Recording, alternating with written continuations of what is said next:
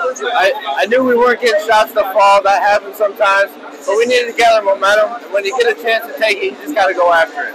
What adjustments you guys make at halftime? We had to we had to rely on our defense. We knew the shots were going to fall, but we just had to lock down 10. He was a, he was a good player.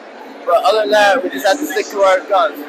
You know, I've been I've been pretty solid off the bench all year. I haven't played come sectional time, but I knew tonight when coach picked me, I knew I had to step up and play my game. So that's exactly what I did. I did it for I did it for myself with confidence. I did it for the team because they needed me. In that moment, I just did what was needed.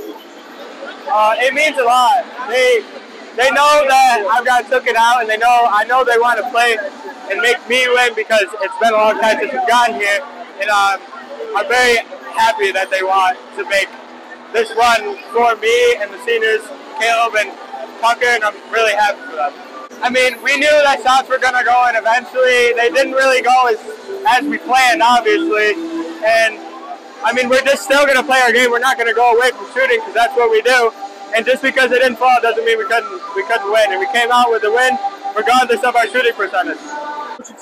It was it was trying to find the right combination is what it was. Um, shots weren't falling early, like you said. We were struggling a little bit, which allowed our energy to drop a little bit. Tucker Garrett came in in the third quarter with a huge lift, defending their big guy. It allowed Sawyer to free up a little bit, and finally got in rhythm. You guys decided to go to full court press. What was the reason for that? Just to make them handle it and try and speed them up a little bit. They were walking them off the floor. Um, they were just kind of lulling us to sleep a little bit, so we decided to pick it up a little bit, see if we could turn them over and speed them up, and I think we did. Uh, being a sophomore, though, he wanted the ball there at the end of the foul. He did, which was nice to see. He actually got into attack mode in that second half and started driving and penetrating and, and creating for others, so that was nice to see.